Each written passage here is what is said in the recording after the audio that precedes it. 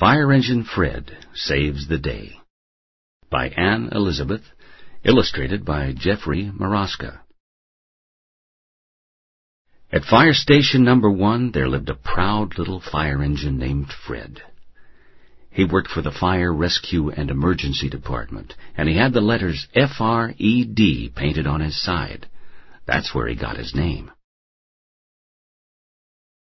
Fred loved being a fire truck more than anything else in the world. When the fire bell rang, all the firemen would slide down the pole and jump on board. Then Fred would speed off to the burning building. Fred may have been old, but he was still fast on his wheels. He would blare his siren, clang his bell, and flash his red lights to let everyone know he was coming. All the other cars would pull to the side of the road to let Fred come speeding by. Fred felt very important. When they reached the burning building, Fred knew just what to do. He had done this many, many times before. Fred would stop right by the fire hydrant to help the firemen unroll the hose and hook it to the hydrant so they could spray water on the fire as quickly as possible. Fred would open his tool cabinet so the firemen could get their axes and picks to chop down the door. Fred would loosen the latches so the firemen could remove the ladders and climb up to rescue people from the burning building. The firemen were very brave, and Fred was proud to be a part of their team. He was a hard worker and a big help to the firemen. By the time the fire was put out, the firemen were tired and covered with soot and grime. So was Fred but not too tired to drive the firemen safely back to station number one. As soon as they arrived at the station, the firemen gave Fred a good scrubbing. They washed him up, wiped him down, and put him to bed for a well-deserved rest. Fred smiled the smile of a job well done, parked inside station number one.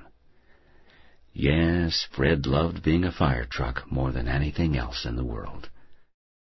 That's why he was so heartbroken about what happened a few days later. Monday usually was maintenance day for Fred. That's when he got his body waxed and rubbed, his joints greased, and his engine checked out for knocks and pings. Fred liked maintenance day a lot.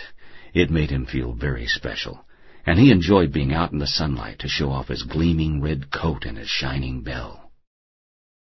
But one gray and cloudy Monday something strange happened. One of the firemen drove Fred outside and parked him in the vacant lot beside the station. Fred thought that was very odd. He had never been parked outside in the cold before. He was always kept inside the station where it was snug and warm. Then Fred saw it the biggest, strongest fire engine he had ever seen. A brand new fire engine came swaggering up to the fire station and stopped out front, leaving its strange sounding siren screeching and its odd looking blue and white lights flashing. What a big show off, Fred thought. The firemen rushed out of station number one to see the new fire engine. The firemen looked under the hood and oohed and awed. They hoisted the long ladders and wowed in amazement. They rolled out the hoses and nodded their approval. The firemen seemed very happy to have this shiny new fire engine at station number one. Poor Fred felt forgotten and neglected. He tooted his horn, but no one noticed. He rang his bell, but no one paid attention. He even turned on his siren, but it was drowned out by the blare of the new engine siren. Then the fireman backed the prized new fire engine up the driveway and parked it inside station number one, right in the very spot where Fred usually was kept. The fireman closed the station door, leaving Fred out in the cold. Before long it started to rain. Fred began to shiver. He wasn't used to being left out in the weather. He belonged inside the station where it was warm and dry. Raindrops rolled off his headlights. No one even noticed there were teardrops, too. Fred was all alone and crying in the rain. Every day after that, when the fire bell sounded, Fred perked up in anticipation. He kept hoping the firemen would come rushing out, jump on board, and roar off to a fire with him, just like before. But they never did. It was always the young, strong engine that went to the fires now. Fred felt completely useless. What had he done to deserve this? Hadn't he been a loyal, dependable fire engine for nearly twenty years? Had he ever once failed to start? Didn't he always get the firemen to the fire as fast as any engine could go? What had he done? Except, except get old. Oh, well, I guess that's what happens when you get old, Fred thought.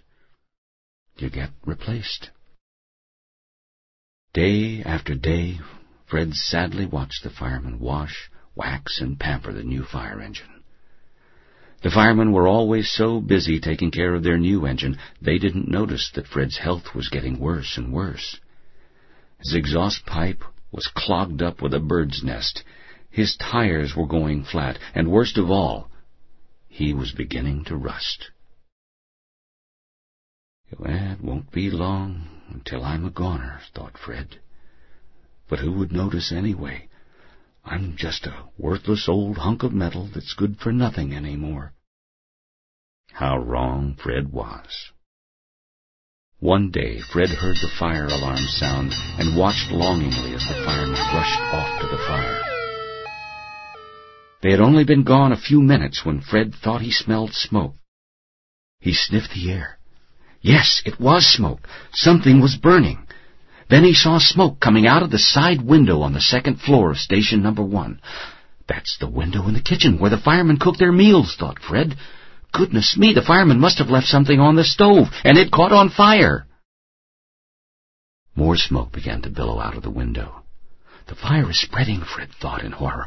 I've got to do something or the fire station will burn down. But what can I do? Fred thought for a moment. Then he remembered he still had a siren. That's it, Fred thought. I'll sound the alarm with my siren. Fred turned on his siren, but nothing happened. Oh no, my battery must be low, thought Fred. He tried again, but nothing. He tried again, and again, and again, but the siren wouldn't sound.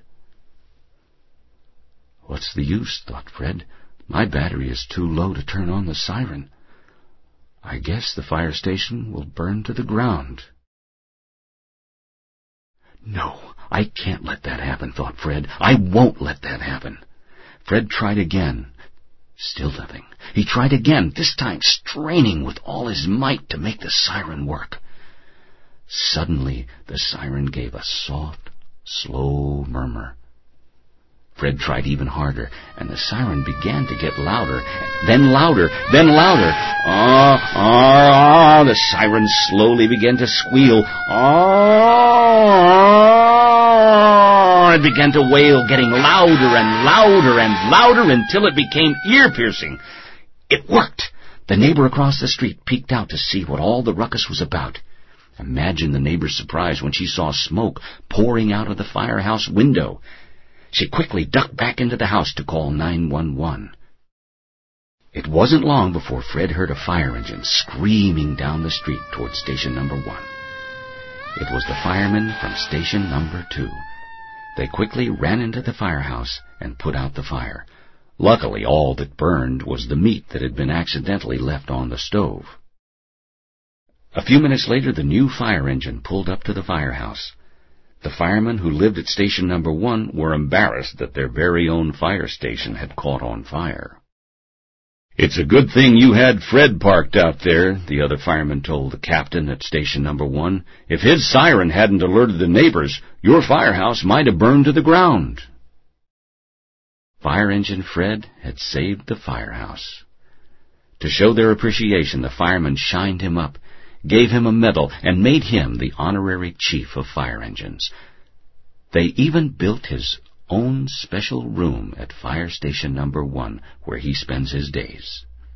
That is, when he's not at school teaching kids about fire engines and being a fireman and, most important of all, practicing fire safety. Fred may be too old to fight fires anymore, but he's still able to help the firemen. By teaching kids how to prevent fires, Fred might save the day once again. The end.